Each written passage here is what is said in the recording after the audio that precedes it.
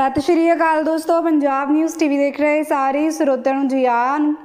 ਹਾਂਜੀ ਕੇਂਦਰ ਵੱਲੋਂ ਆਟਾ ਮੈਦਾ ਅਤੇ ਸੂਜੀ ਦੀਆਂ ਕੀਮਤਾਂ ਬਾਰੇ ਆਈ ਵੱਡੀ ਖਬਰ। ਜੀ ਹਾਂ। ਤਾਜ਼ਾ ਵੱਡੀ ਖਬਰ ਆ ਚੁੱਕੀ ਆ।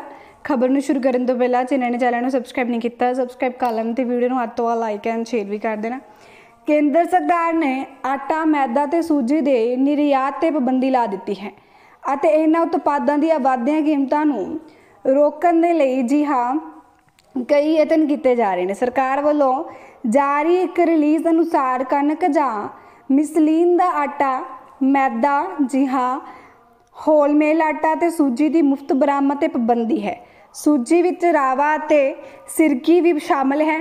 ਸਰਕਾਰ ਦੀ ਤਰਫੋਂ ਵਿਦੇਸ਼ੀ ਵਪਾਰ ਡਾਇਰੈਕਟਰ ਜਨਰਲ ਨੇ ਹੁਕਮ ਜਾਰੀ ਕੀਤਾ ਹੈ। ਹਾਲਾਂਕਿ ਸਰਕਾਰ ਦੀ ਆਗਿਆ ਨਾਲ ਹੁਣ ਕੁਝ ਮਾਮਲਿਆਂ 'ਚ ਨਿਰਯਾਤ ਕੀਤਾ ਜਾ ਸਕਦਾ ਹੈ। ਜਾਰੀ ਹੁਕਮਾਂ ਦੇ ਵਿੱਚ ਕਿਹਾ ਗਿਆ ਹੈ ਕਿ ਇਸ ਨੋਟੀਫਿਕੇਸ਼ਨ ਤਹਿਤ ਵਿਦੇਸ਼ੀ ਵਪਾਰੀ ਨੀਤੀ 2015-20 ਦੇ ਪਰਿਵਰਤਨਸ਼ੀਲ ਸਬੰਧਾਂ ਸੰਬੰਧੀ ਵਿਵਸਥਾਵਾਂ ਲਾਗੂ ਨਹੀਂ ਹੋਣਗੀਆਂ। ਬਾਕੀ ਖਬਰ ਨੂੰ ਅੰਤ ਤੱਕ ਦੇਖਣ ਲਈ ਤੁਹਾਡਾ ਬਹੁਤ ਬਹੁਤ ਧੰਨਵਾਦ ਹੈ।